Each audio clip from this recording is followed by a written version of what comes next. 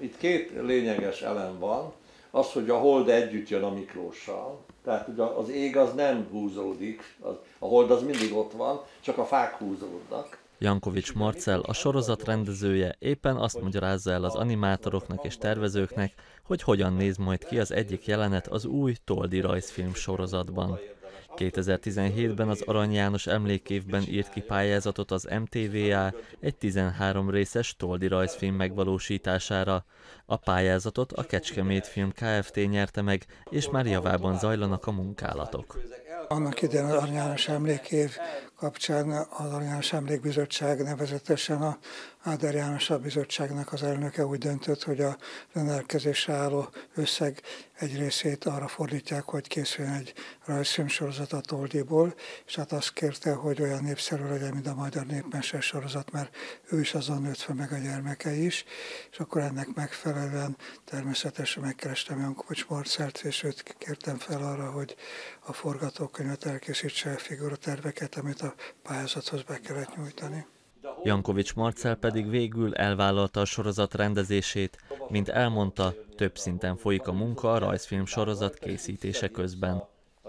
Az első énekből lehet annyit mutatni, gyakorlatilag szinte minden jelenet már kész van, valamilyen munkafázisban, tehát van színes anyag benne, van mondjuk úgy, hogy kihúzott formában, véglegesen megrajzolva, van olyan, ami csak vázlatszerűen, de mint film követhető már.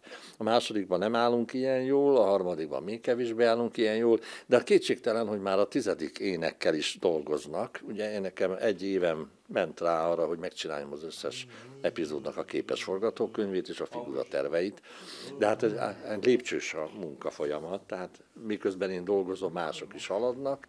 Egy, csak egy legény van talpon a vidéken, meddig a szem ellát puszta földön égen. Szörnyű vendégoldal reng araszos vállán, pedig még legénytól sem behelyzik állán.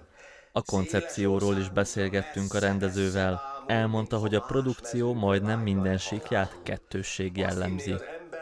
Van egy realista világa, amit az aranyféle szöveg adja, van egy, egy hősi dráma benne, és akkor ugyanakkor van egy humor is, amit szintén aranynak köszönhetünk, csak én bányáztam ki, mert ezt a irodalomtanárok nem szokták népszerűsíteni, viszont ez kiderül, mert hogyha csak azt az egy példát mondom, hogy a hogy a, amikor arany kérdezősködik, hogy vajon miért van a házban ekkora nagy tevékenység, sürgés, forgás, netán a, a férjhez ment ismét az özvegy fonyadó virágában.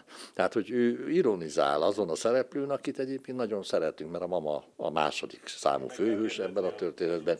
De nem csak a forgatókönyv szintjén jelenik meg a többféleség. Van a, a zenében is egy fajta kettőség, tehát van egy úgynevezett hagyományos filmzene, kísérőzene, ami természetesen megpróbálja megidézni a középkori Magyarország. Ott annak is mondjuk a népzenei vonulatát, és azon kívül van egy úgynevezett aktuális zenék, ami effektíve azok játszanak, a képen is láthatók, muzsikálnak Toldi Györgynek, vagy a vásárban muzsikálnak, vagy mikor Miklós berúg a tizedik énekben, a kocsmában elkezd táncolni, van egy citerás ember, aki a húzza a talpalávalót, ha ezt húzásnak lehet nevezni. A rendező elmondta, a képi megvalósításban is látható lesz a kettősség.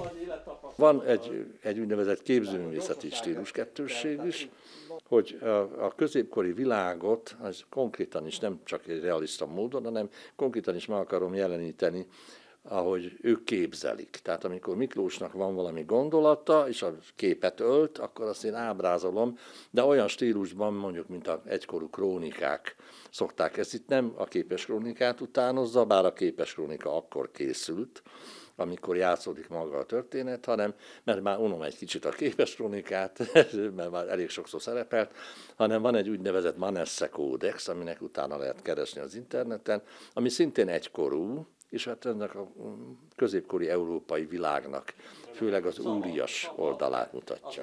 A tervek szerint 2020 végére elkészül a sorozat, amely majd egész estés rajzfilm változatban is látható lesz.